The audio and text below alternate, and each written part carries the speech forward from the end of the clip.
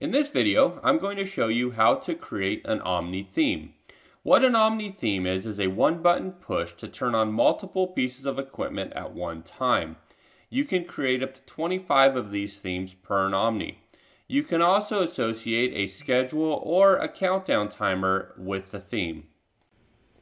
In this example, I'm going to show you how to create a theme. First, we're going to wake up the screen by tapping it and then I'm going to go into spa features to activate all the features that I want on in my spa theme. I'm going to turn on the filter pump, I'm going to turn on the jet pump, I'm going to turn on the lights. I'm going to basically turn on everything that I want on with a one button push. After I've completed that, I'm going to go back to the home screen. Now that I'm back in the home screen, I'm going to push the Themes button. Now that we're in the Themes menu, I'm going to go ahead and press plus to add a theme.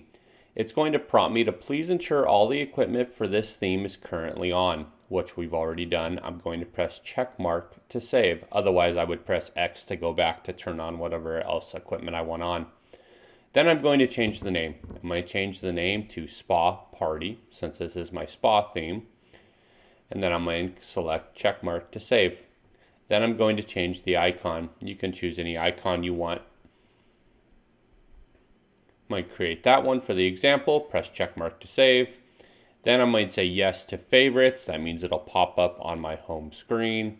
And then for this example, I'm going to create a countdown timer for this theme because I only want the spa to run for three hours and then I want it to shut off.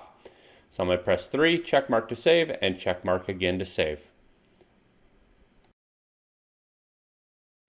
Now that we've saved our theme, you can see it listed here as Spa Party. We have a few options now. We can select Spa Party and press the play button and that'll activate the Spa Party.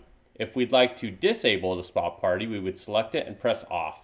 We can also select it and press the schedule if we'd like to set a schedule for Spa Party. Or we could select it and press the timer and that'll allow us to set a duration timer on this theme. Now we could change the properties of a theme. To change the properties of a theme, select the theme and press the settings button at the top of the screen. From there, we can change the name, we could change the icon, we could change if it's favorite, or for this example, we could change the countdown timer. We're going to select the countdown timer and change it to two hours and press check to save. We're going to press check again to save our properties. Now I'd like to show you how to edit a pre-existing theme. To do that, you need to activate the theme and then go into the equipment you'd like to change. For this example, we're going to shut off the spa jets in our spa party theme. So we're going to turn it off and then we're going to go back to the themes menu and we're actually going to save a new theme. So we're going to press the plus button to save, check mark to confirm, we're going to change the name on this one to something different than Spa Party, so that way we could tell the two apart. So we're going to name this one Spa Party 1. Then we're going to change the icon so it looks a little different. That way we know which spa party has the jets on and which one doesn't. And then we're going to make the countdown timer the same as two hours. Once we do that, we're going to hit check and check mark again to save. And now you can see our two different spa parties. Now we're going to go through the process of deleting a theme. First thing to do is select the theme. And then go ahead and press the trash can up in the top left hand corner. It's going to ask you, are you sure you want to delete this theme? If we're sure we want to delete the theme, go ahead and press check mark to save. And now your theme is deleted.